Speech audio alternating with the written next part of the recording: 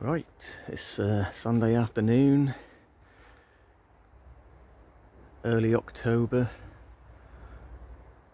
still sorting out sort of uh, winter protection for some of the less hardy plants. Um, still haven't actually got any house plants in yet, other than the exception was the coconut palm which went in a couple of weeks ago because the, the, nights are getting a little bit cool for that. Um, yeah so we thought we'd uh, have a look at the summer house and see how it's filling up. So I did speak a lot in a few other videos about putting stuff in the, the summer house so I've uh, bubble wrapped it. So we'll have a look inside and just go through briefly what I've done and what plants we've got in there so far. Right, so obviously the door's open at the minute, but that has uh, been bubble wrapped around the glass area and the panelling with uh, bubble wrapped the inside face of the summer house to stop any drafts coming to windows. We've also bubble wrapped the uh, skylight. Just give a little bit uh, more uh, insulation property and uh, you know I am going to be running a, a heater in here which is going to be on all the time just for the fan to circulate the air but it will kick in with some heat if it drops below 4 degrees so it just uh, stops it from freezing inside here very rarely comes on to be fair. Like I say it's a bit of a greenhouse in here and um, you know it does heat up during the day and it doesn't really drop too low at night. But um, yeah we've got the little heater underneath there. Just a small greenhouse fan heater. So on the floor just to obviously heat rises so as it pushes the air out. That will rise up and circulate um, so the dimensions of this summer house is four meters wide and three meters deep. So I've, sort of cordoned off the back meter and a bit with some old um, shower curtains which are light lightweight and they're they're white so the idea is that reflects the light as well so even with the, the bubble wrap on the windows which does sort of block a little bit of the light that will help to reflect a bit of the light and you know hit the plants from other directions rather than just the windows at the front. Um right a quick explanation of what sort of plants I'm bringing in. I'm not to go through every single plant obviously it'll be all day but um sort of groups of plants if you like and why and where they're positioned. So we'll start on the left here. So at the very back not that you can see stuff that's going to need water the least. I can still reach over there and water them but they're going to literally just uh, two or three times over the winter just a little dribble. And we're looking at basically alocasias there. So we've got a uh, Macrorrhiza, um, Batora and Sumo. So they're going to be kept pretty much bone dry over winter. So they'll they should hold on to their leaves and they'll just sit dormant. Um, well, yeah, so you can see the bigger leaves there. Right in front of that, we've got a fishtail palm. I've got two of these this one I, I didn't I didn't actually do a video on it. I bought it in Morrison's earlier in the year. Um, it was reduced. I think they were down. I think it started off at 30 quid and they were reduced by half. I had about eight in there. And then uh, they reduced them down to li literally £3.50. So I thought at that price, we'll go with that. And that's, um, I don't know, four, four or five plants in that one yeah, so at, at £3.50 I don't mind having a, a gamble and see how this does. over winter in these conditions. So I'll remind you again, just frost protected, that heats up a little bit during the day, but you know, in general, very low light, very cool conditions for overwintering. I've got a bigger fishtail palm which comes indoors, but if it, you know, seems to pull through right in this situation, that's, that's going to save me space indoors. Right, so fishtail palm there. We've got a couple of uh, Nikau palms. All these are the New Zealand shuttlecock palms. Don't know if that's going to come up. So they they are quite hardy. I've had these for a few years. I've actually bought these um, online just as little seedlings. They're literally about four or five inches, and that was probably four years ago. So they're fairly slow growing, but they're nice, fairly hardy, easy to care for crown shafted palm. So it's not very often you get sort of a, a cold hardy crown shafted palm. So they look quite tropical. And they're sort of nice upright shuttlecock formation. And uh, they seem to be okay. They're outside in a shaded area for summer then I say over winter in here. Um, yeah, I, I said I weren't going to go into details about plants, so we'll be here all day. Um, at the back here, we've got the Kentia palms. Some of the small ones. I've got a really big one indoors, which is about seven foot tall. But that's a nice house plant. But the, these ones are outside for summer, and they they take the the cool and um, darker winter days. No problem in here. So they'll be at the back again. We'll keep it they don't mind being a little bit damp over winter, the same with the Nikau palms, but still kept a little bit more on the dry side. Um, at the back, we've got, this is a standard bird of paradise. We've got the, the row of giant bird of paradise, so there's three plants going along the back here. Um, We've also got the golden bird of paradise here.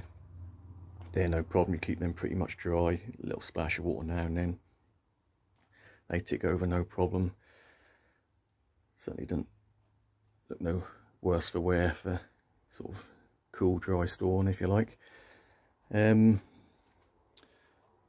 we've got a lady palm, Rhapis excelsior.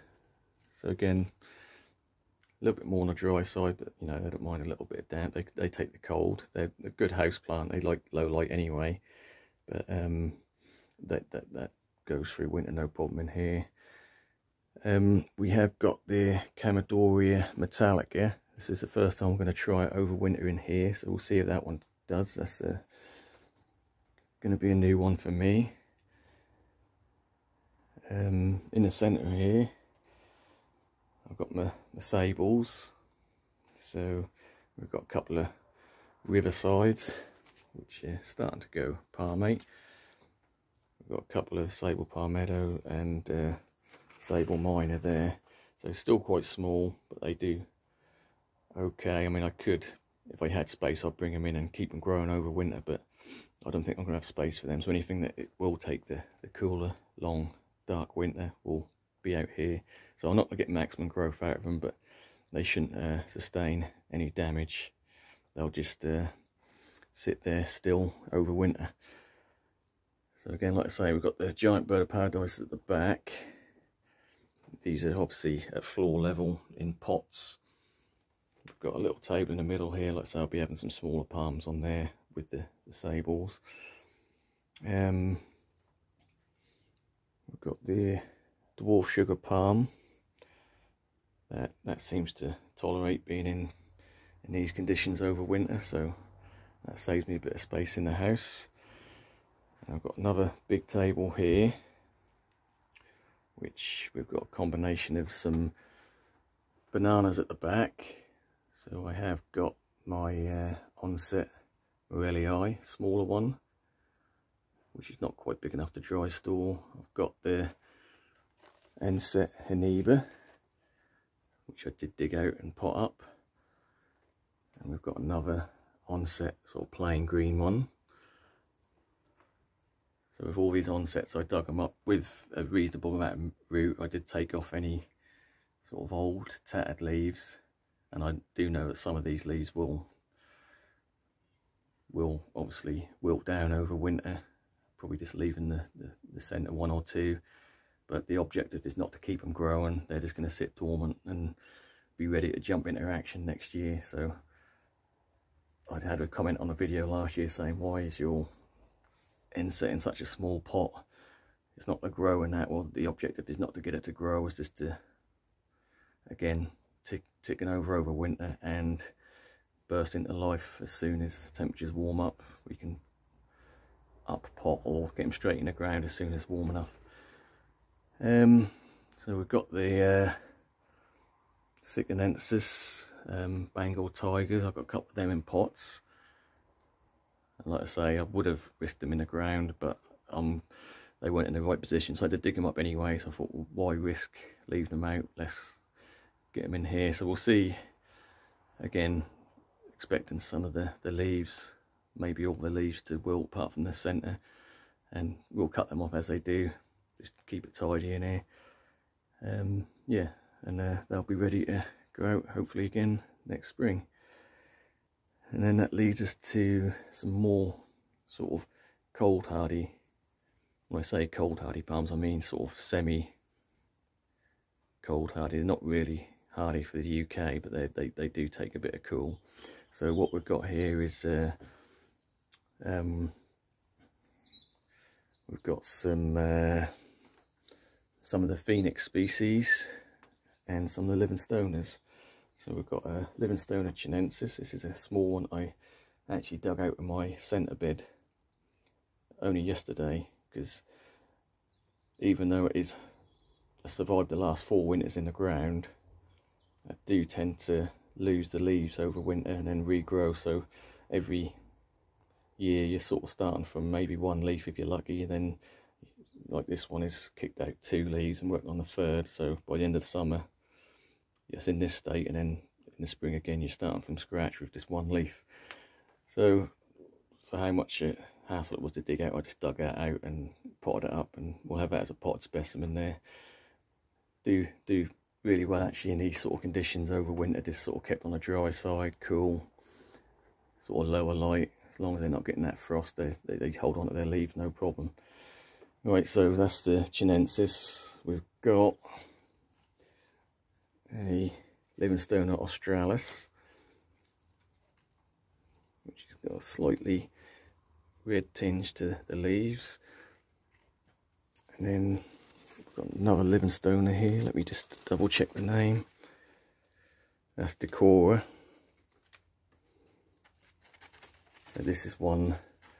These two I got um, last year's as seedlings, and uh, I think the Australis I kept in uh, in in here last winter, and we can see us uh, a nice shape you know, sturdy, chunky little plant.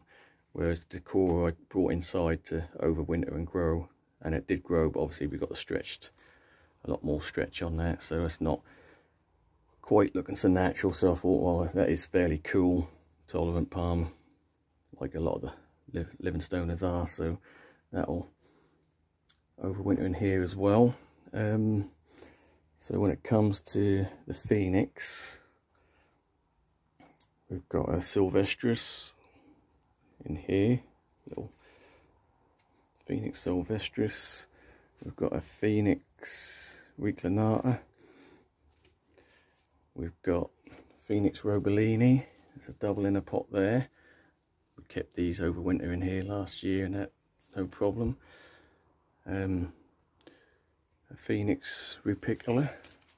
So again, all these don't mind going cool and sitting pretty much dormant over winter. So yeah, a lot of the, the phoenix species seem to do well with that. Um, yeah, so that's just a look at some of the, the palms we're doing. I've also got some of the small bananas here, um, little golden lotus banana and whatnot.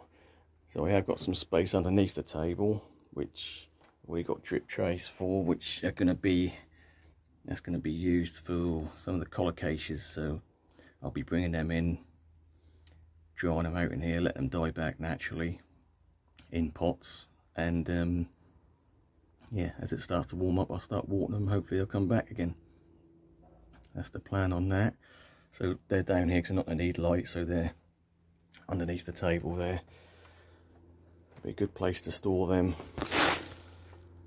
Yeah so I think that the layout is important because you need to do need to be able to get in here and water occasionally. So as long as you can reach the plants as and when. I mean I, I probably check in here once a week and just see how things are doing over the winter. And anything that looks really dry or looks like it could do with water I, I will give it a little splash. So the idea is that like I say we've got three tables. I've still got some plants to go on here some smaller plants to go as yet. And I've got some space on this one to go. But yeah so we've got three tables. And in between the tables I've got enough space to get through to the plants at the back and water and even on the back shelf here the, the, bar area.